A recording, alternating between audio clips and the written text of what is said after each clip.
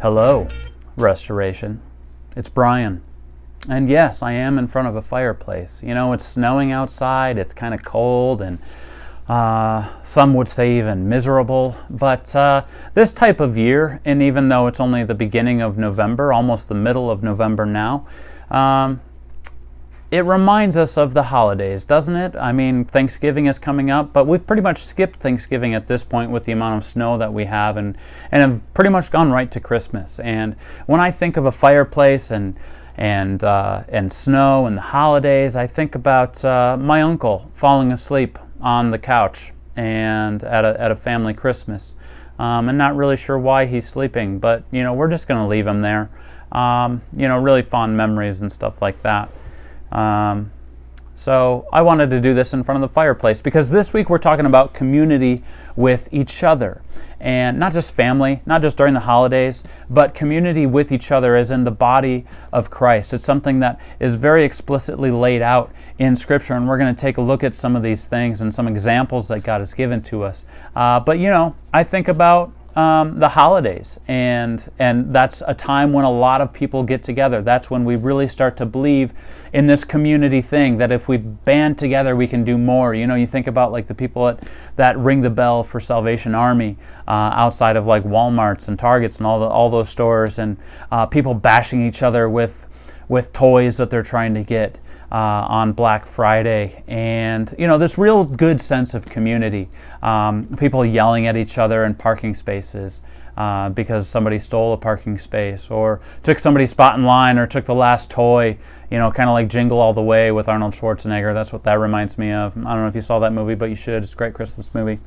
Um, anyway, community is really cool, and Jesus tells us to be in community with one another. Maybe not quite like I just described, around Christmas time when we're all trying to get presents. But he is pretty specific with how we should do community together, and that's one of the um, one of the uh, words on the mission statement for Restoration Church. So we've got the vision, which is people following Jesus. We are all about people following Jesus because it's all about Him. And then we our mission statement, which helps carry out the vision is transparency, community, and change. So it's transparency with Jesus and with each other. We've t- covered those things. It's, it's community with Jesus, which is what we covered last week, and then it's community with each other. And that's what we're on this week. So we've been at this series for five weeks. We're introducing Restoration Church to whoever wants to, to hear about it.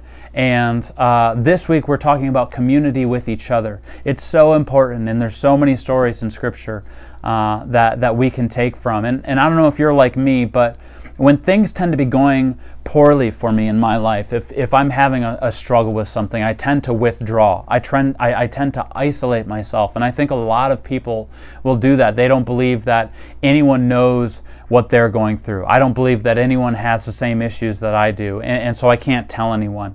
And if I'm really struggling with my faith, I'd really better not tell anyone because I don't want anyone to think that I'm weak. And I doubt that anybody else struggles with their faith in a way that I do. So I keep my mouth shut, which is exactly what Satan wants. He wants us to be isolated because it's so much easier to get picked off when we're isolated, when we withdraw from everything else and we, we get away from the community that's been built around us. We stop reaching out to the friends around us that have invested so much into our lives.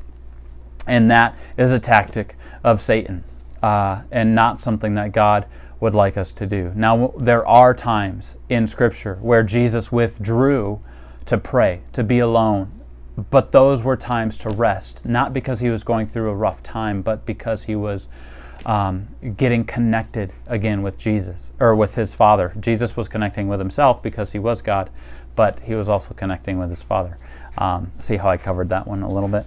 Uh, anyway, so there's there's a bunch of stories in Scripture, and I want to share a couple of them with you. One's from the Old Testament, and then I got a couple from the New Testament. So in the Old Testament, there was this guy named David. You might have heard of him before. Uh, he did some stuff wrong. He had an affair. He killed the affair person's uh, husband, and um, and you know did did a bunch of that kind of stuff. But he was also a man of God. He also was described as a man after God's own heart right? So we can look at all the negative stuff that David did, but there was a lot of really great stuff that he did. And if you read any of the Psalms, you can see that. because uh, he wrote most of the Psalms. And in David's life, he was in constant, it seemed, constant turmoil.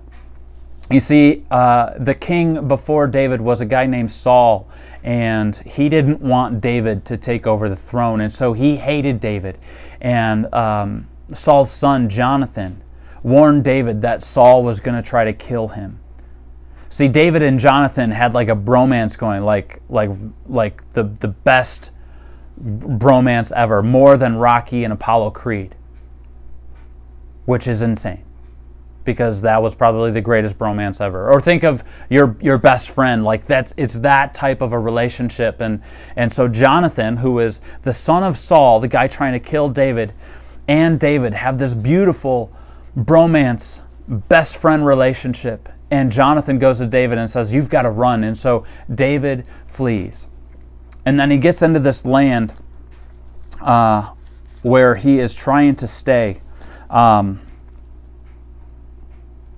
and I don't even know how to say the city, but the city is is Keilah. We're going to say Keilah, uh, where David is at, and um, Saul finds out that that's where David is, and so David is in a, between a rock and a hard place, and he's asking the Lord if if the people of Keilah are going to give up David into the arms of Saul, and David and God says, yeah, that's exactly what they're going to have to do or that's exactly what they are going to be doing. So you need to run again. And so David um, is is is thinking about all these things, and um, we pick it up in 1 Samuel chapter 23, verse 16.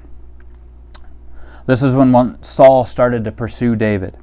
Verse 16 And Jonathan, Saul's son, rose and went to David at Horesh and strengthened his hand in God. And he said to him, Do not fear. For the hand of Saul my father shall not find you. You shall be king over Israel, and I shall be next to you. Saul my father also knows this. And the two of them made a covenant before the Lord. David remained at Horesh, and Jonathan went home. So Jonathan went. David's in this really tough spot, right? He's he's getting pursued, and people are betraying him. And uh, Jonathan realizes this, and he goes up and he supports his bro David. So who do you need to be Jonathan to today? Who do you need to go support and be like, oh man, I haven't seen them in a while. I got to go check in on them. Something's going on. I need to encourage this person. See, God orchestrates this fellowship with the believers so that we can encourage one another, so we can bring each other forward so we can carry each other's burdens, as it says in Galatians 6 2, that we're supposed to carry each other's burdens. So that's exactly what Jonathan, we have this really cool example. And if you want to read more about it, I encourage you to do that. Uh, read through the, the Samuels. There's uh, this, this relationship between Jonathan and David that's so cool. Uh, it's like a, a buddy cop film, if there was one that was faced in those times, and really cool. So we have this really cool, um, this really cool relationship between David and Jonathan. And Jonathan is such an encourager to David in his time in, in, in need. And God sends Jonathan to David to be like, hey, I know you're scared, and I know you don't know what's going on, but here's what's going to happen. And Jonathan goes and encourages David and tells him exactly what he needs to hear.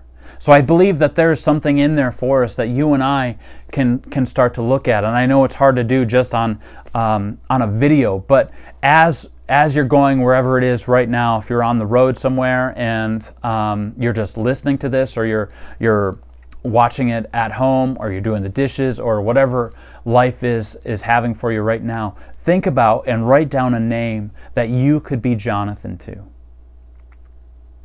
It's so cool. And, and that's beginning of how the church is supposed to work. It's not supposed to just be about programs and, and how many things we can do in a certain week um, and how busy we can stay. I believe last week we talked a little bit about remaining in Jesus, and part of that is by celebrating with each other when things are going on, when we have um, life things happening to us, good or bad, that we celebrate it with others, with, with that community around us. That's why it's so important uh, to be involved in a small group if you have a small group to be involved in. That's why it's so important to surround yourself with people uh, who believe the same way. There's something where we can get together uh, where, where we all share a common interest or we all share a common goal. And for believers, no matter what type of background you come from, we all share Jesus together.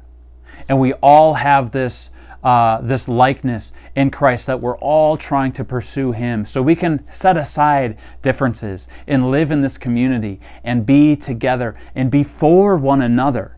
And this is individual to individual. This is group to group. This is small group to small group. This is men's ministry to different men's ministry. This is church to church. This is church across the street to church across the street. That we're supposed to live in this community together, building one another up, edifying the body, so as to encourage one another.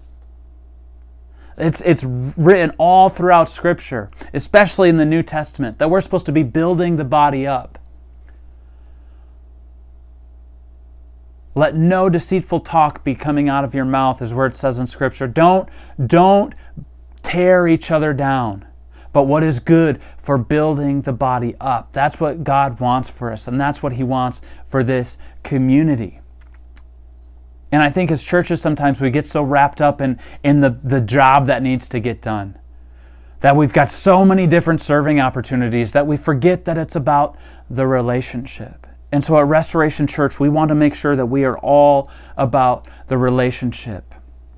that's why when we start a service together, it's not going to have a whole bunch of ushers and door greeters and whatever else that looks like. We are the door greeters. If you're going to be at Restoration Church, if that's going to be something that you want to be a part of, we invite you to be a door greeter without signing up, to say hi to somebody new. That way, it frees us up to really look after the least of these and to connect with each other in community. It's, it's, I'm, I'm really excited about what that looks like. And then in another portion of portion, in another portion of Scripture, uh, we've got in, in Acts chapter 2. So this is when the church is just starting out. It's in Acts chapter 2, starting in verse 42. It's a really, really familiar passage. And I just want to read it to you. It's so encouraging for me as we start Restoration Church that I want to make sure that this is what we are about. And it says, like I said, Acts chapter 2, verse 42. And they devoted themselves to the apostles' teaching and the fellowship, to the breaking of bread and the prayers. Isn't that beautiful? I think it's beautiful. They devoted themselves to the fellowship, or to the apostles, I'm sorry, teaching. Let me start that over. And they devoted themselves to the apostles' teaching. So that's what we're doing right now. And the fellowship to breaking of bread and the prayers. That's what the church needs to be about. We need to make sure we stay true to teaching and that we're breaking bread together and that we're praying together.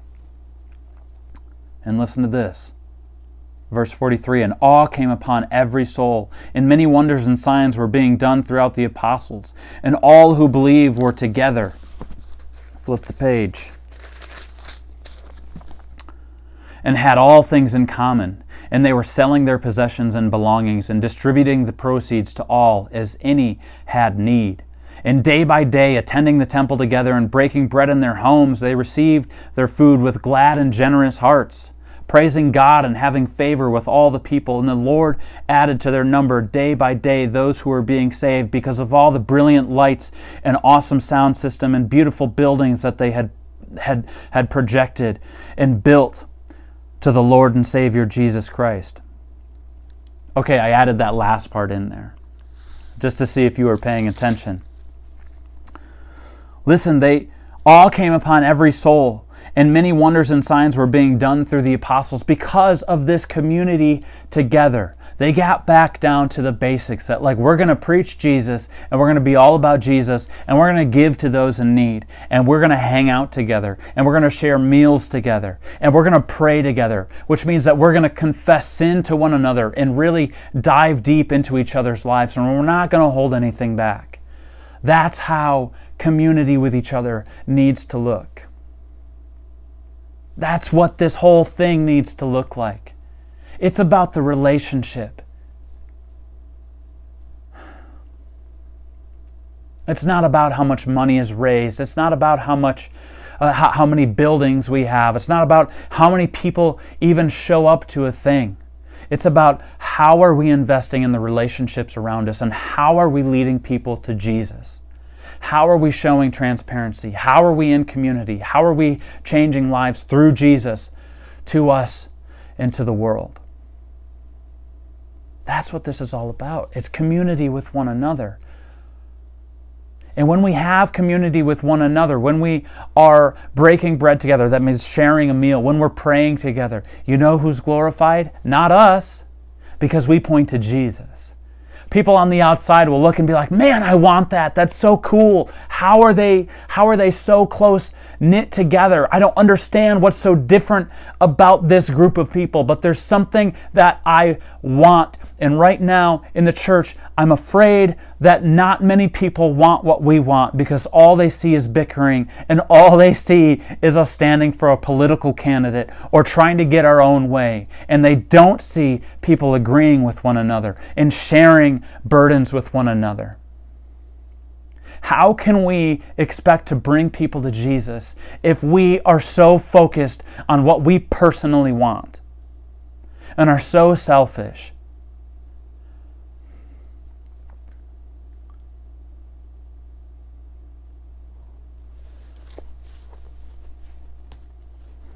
I think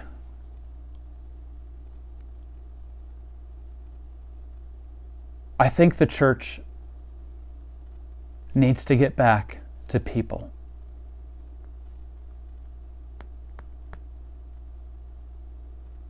I think the church would be wise to abandon some things for the sake of relationships. And you can argue all you want that, well, all these programs and everything is what's bringing all the people in. And you're right. That is one way to get people in. But the Bible says to preach the word. And the Bible says, lest the cross be void of its power. Meaning, let's let the cross do the work. Let's focus on the things we can do, like community with one another. Find people. Who's your Jonathan? Who's your David? Who do you need to encourage?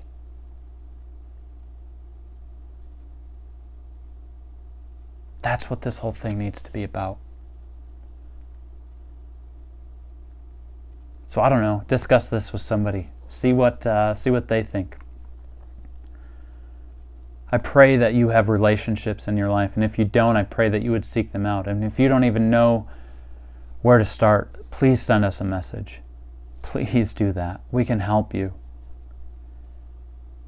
Get connected. I know it's scary. It's scary to walk out uh, and find people to, to, to connect with. It's scary to be vulnerable with people, to be transparent with people. But see what it unlocks. And please contact us if you have any questions about any of this kind of stuff. We would love to hear from you. And a couple of quick updates here um, on Restoration Church. Uh, we've got really great news. We uh, we have our our giving platform is up and running. Uh, we've got a link connected right here um, on this page. We, we have it in the description if you want to um, click on that and donate to Restoration Church. Uh, there's two different categories that you can donate to. You can donate to the uh, community page uh, or the community account, which is um, that means all of that money will go into the community account and which is a separate account from our overhead account. And in that community account every dollar goes right back into the community. It's it's really cool. Um, we're really excited about that. And if you don't earmark how you give or when we get weekend services started like all of that money goes directly into the community account and uh, we distribute that around various organizations, which we're going to be announcing here in the next couple of weeks. So be on the lookout for the partners that we're going to be having uh, with our community account. Um, and then the other account is the overhead account. That's where all of the costs for Restoration Church um, are going to come out of. If we're going to have to pay rent, um, salaries, uh, if, if there's insurance things, I should have a business person explain all of this to you and not me. But that is the overhead account, and you're more than welcome to give to that one too. Um, it costs money to run the ministry, and so if you want to donate to that as well, feel free. Uh, but there is no pressure to give at all. We would love it if you did, but if you don't, we would still love you just the same. We that we care about you as a person and as an individual. We do not care about your pocketbook. We care about you. So we want you to get connected with people, and we want to be able to help you do that. So let us know how we can. Uh, man, I hope you are enjoying this as much as I am, and I hope you're staying up to date with all the cool stuff that we've got going on. We will see you next week.